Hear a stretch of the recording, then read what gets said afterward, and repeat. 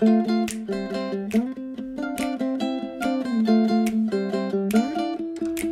hey, חברים, היום אנחנו הולכים לגלות לכם את קולנטה בשלוש דקות. צא! אם עדיין לא שמעתם על האי קולנטה, זה בסדר גמור. רוב התיירים עדיין לא שמעו עליו, וזו בדיוק הסיבה שאנחנו באנו לפה. אחרי תקופה שאנחנו כבר מטיילים בתאילנד, הבנו שהיא מאוד עמוסה בתיירים. אבל מה? רק במקומות המפורסמים בשביל החומוס. אנחנו החלטנו לרדת ממנו וגילינו את תאילנד השקטה, הבתולית, שמתאימה בדיוק למי שמחפש רוגע, שקט, שלווה ומרחב מסביב למחצלת שלו.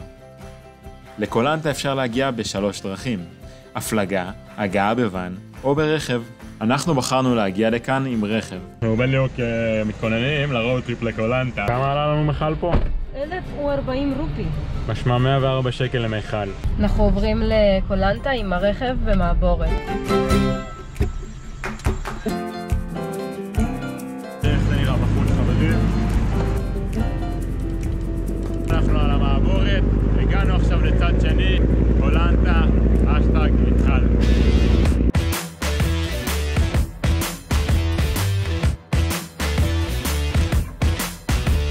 בחרנו להגיע ברכב כי האי לא קטן, שעה מקצה לקצה. אבל גם מי שלא מגיע ברכב, יכול לשכור פה אופנוע. קולנטה מציעה את החופים הידועים של תאילנד, עם החול הלבן שמצויים לאורך קו הים המערבי. וההבדל בין קולנטה לשאר מוקדי התיירות, שפשוט רגוע פה יותר.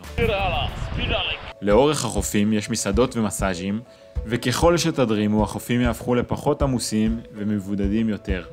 אנחנו אוהבים את השקט, ואני בערך הבן אדם הכי רועש בחוף, כי נורא שקט פה, ואני לא רוצה להפריע לאף אחד. ולכן נמליץ לכם על חוף קלונג צ'אק. והמסעדה, Take It Easy, עם צוות מאוד חברותי. לגבי האוכל, קו לנטה מציעה המון אוכל טוב וטרי, שבעיקר מגיע מהים, אבל אל תצפו למזגן. המחיר של הדג שלכם ייקבע לפי הגודל שלו, ואם תיתקלו במחסום השפה, הם פשוט יביאו לכם את הדג שתוכלו לראות אותו. מסעדת דגים מעולה, עם אווירה משפחתית, כמו של פעם, הבשרה, פינת הקפה. אני שמח לבשר לכם שמצאנו את הבית קפה הכי טוב באי. למעריכי הקפה והמאפים, לכו למקום הזה, ותהנו מקפוצ'ינו ועוגת בננה מעולים. The Old Town. אם אתם מבקרים בקולנטה, אתם חייבים להגיע גם לבקר פה. העיר העתיקה מציעה אווירה ייחודית. יש פה רחוב עם בתים ישנים, שהמרפסות שלהם נפרסות מעל המים, ובהם חנויות, מזכרות ומסעדות דגים מצוינות. בערב נפתחים הברים ופורסים את השולחנות שלהם ממש על הכביש. ממש נהנינו בבר The Old Town Cowboy, שמשך אותנו עם הופעה חיה מצוינת ומגוון בירות בוטיק קרות במיוחד.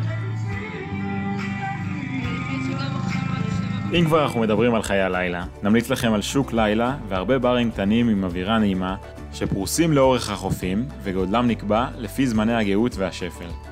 תוכלו להתקל גם בתאילנדי שעובר ביניהם ומוכר בלוני נייר שמפריחים לשמיים.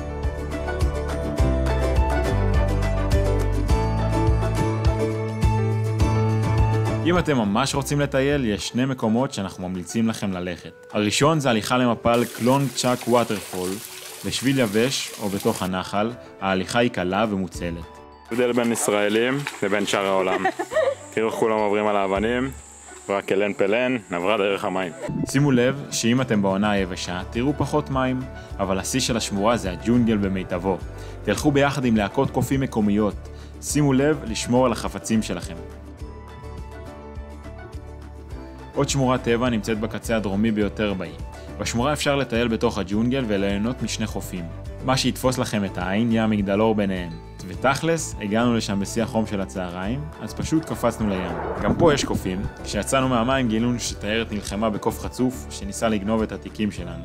אז מה לעשות ב... קולנטה, קולנטה, אני מת על החיוך שלך. קורס בישול. ייתן לכם הצצה לתוך המטבח התאילנדי, תלמדו על כל המצרכים המקומיים שלא ידעתם מה הם, ותחזרו הביתה עם הידע להכין את המנות שהתרגלתם אליהם, גם בבית, כשתתגעגעו לתאילנד. בוחרים בתחילת הקורס ביחד עם שאר התלמידים ארבע מנות.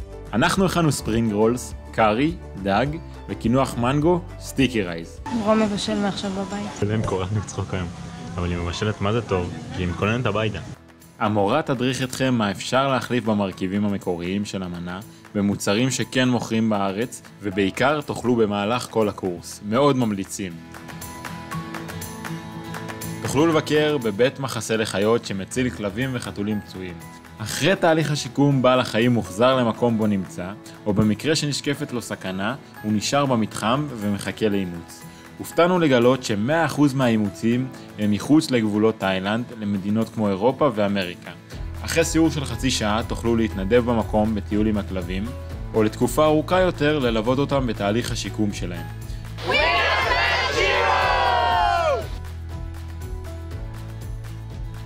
טראשירו, אם ניקיון, מחזור או המילה פלסטיק הם נושאים הקרובים ללבכם, אתם מוזמנים להצטרף לאירוע ניקיון של גיבורי הזבל.